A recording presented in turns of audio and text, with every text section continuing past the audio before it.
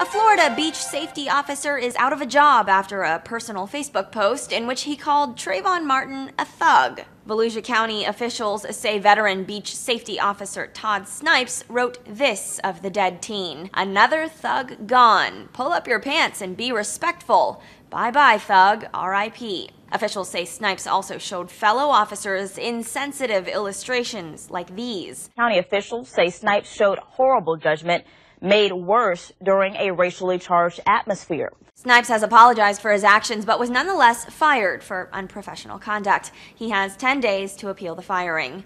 Thanks for watching MSN News. I'm Christina Hartman.